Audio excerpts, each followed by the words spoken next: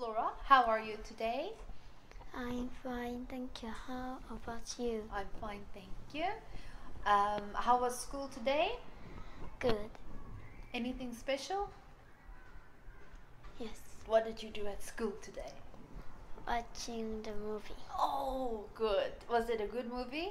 Yes. Funny movie? The sad movie?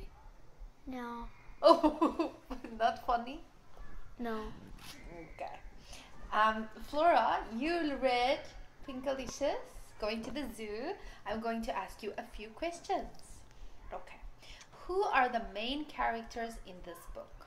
The main character is Pinkalicious. That's right. And can you tell me a little bit more about her? What does she like? Her, her family? She loves everything pink. She has a teddy bear Yes? named Henrietta. Mm. She has a brother Mm. named Peter That's right. Good job. And where did this story take place? at the zoo. And when did this story take place?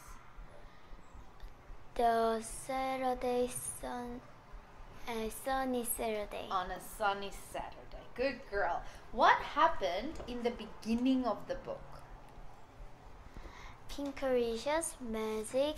Every every animals change pink. That's right. And after that, what did they do? It was Teddy Bear Day, right? So Yes. what did they do?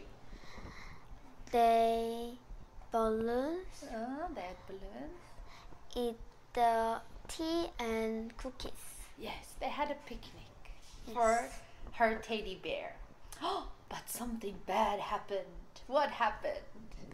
Monkey took the teddy bear, not give.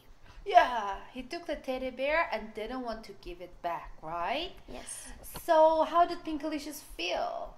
sad. Sad, of course. So, what did she do the next day? How can she get her teddy bear back?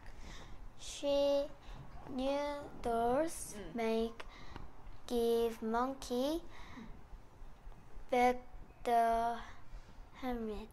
Henrietta, that's right. What was your favorite part of the book? I like the picnic.